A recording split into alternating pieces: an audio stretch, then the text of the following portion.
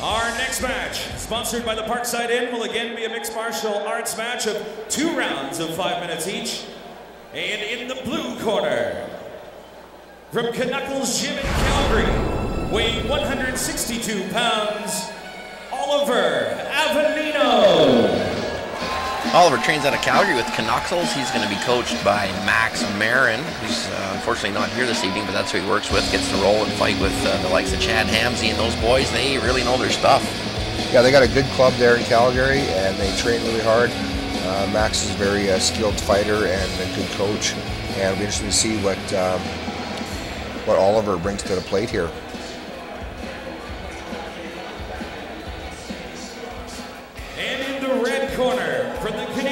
Martial Arts Center, weighing 166 pounds, Travis Briere. Now, Travis, when he trains, we know he's got a straight stand-up background, and he's been working hard on his ground game. Yeah, he's got uh, he's got good ground game, good ground and pound, and he's been working a lot on his boxing and uh, his stand-up. He's very aggressive and strong, so we're interested to see what happens with this fight.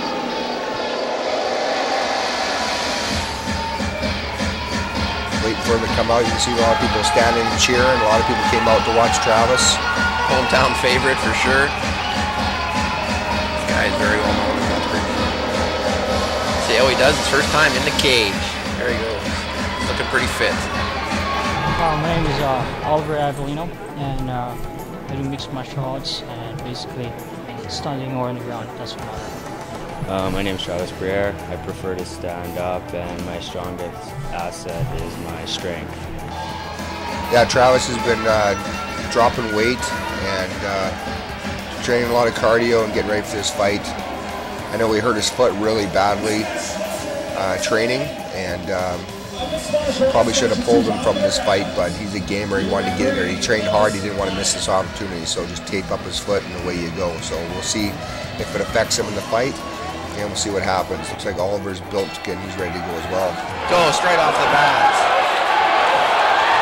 Both guys swinging. That's looking for the unloading. Rocked. Right after right. You got him. Punches are landing hard. Oh, swarm. The Travis Briere swarm. Elvis Lyon hops in and stops the match. Yeah, he rocked him a few times. You can see his knees buckle, and he dropped. And again, Oliver, being a tough guy, obviously, as soon as he hit his back, his feet were up, and he was ready to go again. But with fighter safety and first fights, uh, referee stopped the fight, knowing that he had been uh, and rocked a little bit. Get a quick stop, but fighter safety is the number one priority when you're dealing with uh, new fighters. So, uh, probably a good call. That was excellent. Let's have a look at the replay, see if it was a left hook or that straight right that finally finished him. Travis comes with a big ghost punch and then just blasts away. Both fighters exchanging. Uh, Travis getting the better of the things, landing some good punches.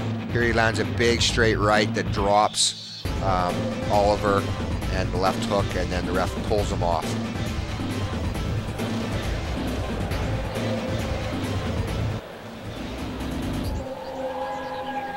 Ladies and gentlemen, we have a decision. The winner by TKO at 18 seconds of the first round. In the red corner, Travis Briere. 18 seconds, first fight. He probably couldn't have wished for more than that. Yeah, and I'm sure Oliver's going to want to get back in there right away. He looks like he's 100% ready to go right now, and I'm sure he's disappointed with the, the flash knockout like that. So he's he's game and ready to go, and I'm sure he'll be in there as soon as he can.